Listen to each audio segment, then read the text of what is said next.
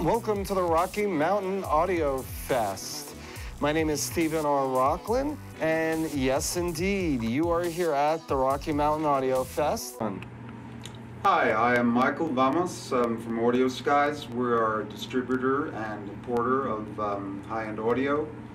And this is one of the rooms we have at the show. And uh, in this room, it's all ESP loudspeakers and cables, complete line of cables.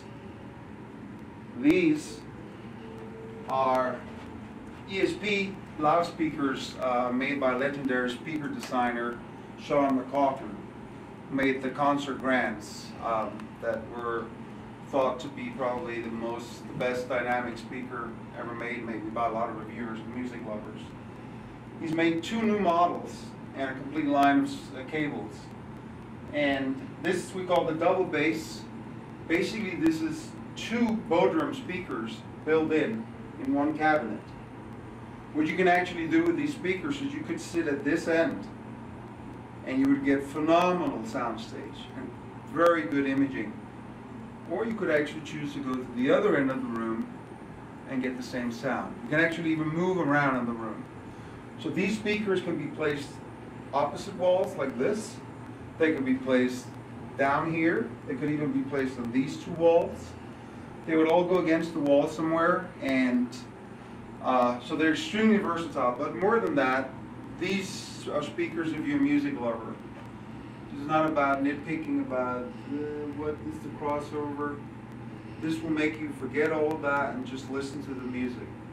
He has another pair of speakers, uh, but they're actually on the balcony. So if you want to film them, go down and but that is a uh, stand mount. It's called the violin. Mm-hmm. And uh, you can actually, has a bassoon module that fits on it, so you can remove the stand and put on, and then you get the deep bass. And which amplifiers? Whose amplifiers and turntables? Yeah, so uh, the ESP uh, is the speakers and all the cables. So Pear Audio Blue, uh, these turntables were designed by Tom Fletcher of Nottingham Analog. Uh, this is the last design that he did. It's not a, um, let me just remove this. It's not a evolution.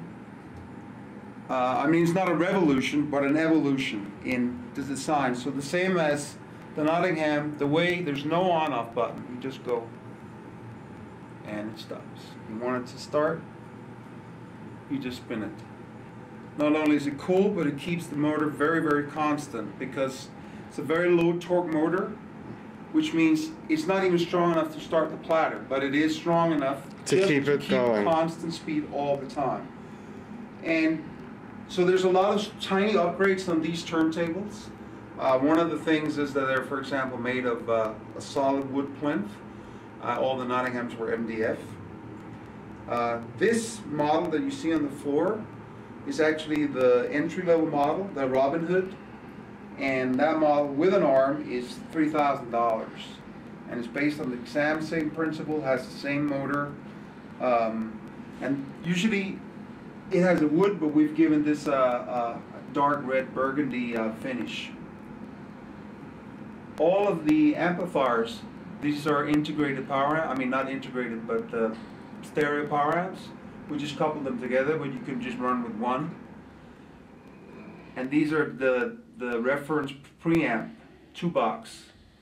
Uh, the power supply is over there with a built-in phono stage. It's also Pear Audio. Um, and they're all tubes. Basically what characterizes this room is everything in here is hand built. These are people that are very serious about music. They sit down and they nitpick over every little detail to get it just right.